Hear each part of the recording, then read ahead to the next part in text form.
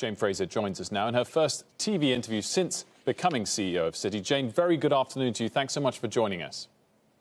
Well, thank you very much indeed for having me, Wilf. I'm delighted to be here. Well, uh, we, we, want to touch on, on so much, and I actually wanted to kick off with that strategic refresh that, that you announced last week on the earnings call. And we'll get into the specifics of it in just a second. But just 46 days uh, after taking the helm, I mean, wow, you, you're not wasting any time.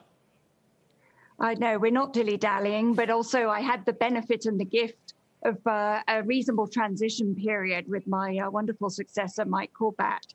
And so we used that time uh, to go and listen to investors, listen to our clients, and begin the work on the strategy refresh. So we had the benefit of therefore being able to go fast out of the blocks. And, and on the specifics that you announced last week uh, uh, within the global consumer businesses, are the ones, first of all, that you're exiting, are they just not good enough businesses?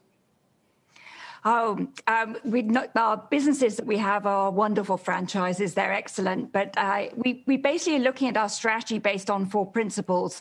We want to be very, uh, very much. Uh, thoughtful in our responses. We want to make sure that our strategy, that we come out focused, that we're connected, that we're very, um, very clear around making the bank simpler, and that we take a, a very candid view on, on the strategy. So as we look at the businesses over a decade ahead, we want to be a winner. We want to close the return gap with our peers.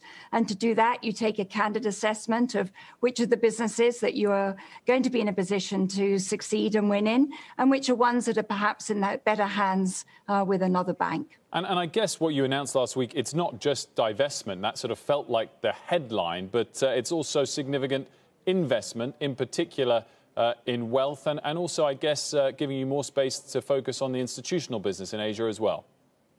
Yes, we're, we're focused on what we want to be, not what we don't want to be.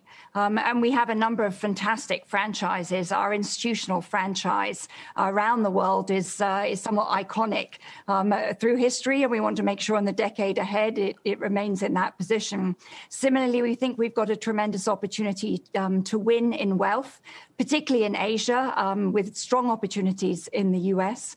And so we're, uh, we're doubling down in the areas that we want to focus on, where we see the stronger growth and return opportunities for us. And then just the final question on, on this strategic refresh. Uh, you, you, used the phrase last week of a fundamental transition. Uh. Are we to expect similar size strategic shifts in other areas of your business, and, and, and how soon might we, might we see those? Uh, well, we're doing work on the strategy refresh, as you said, at the at the moment. That's ongoing. Uh, we're looking at what are the strategies for our different businesses and how do we make sure that they're well connected, that they're in leading positions um, and set up to succeed in the decade ahead.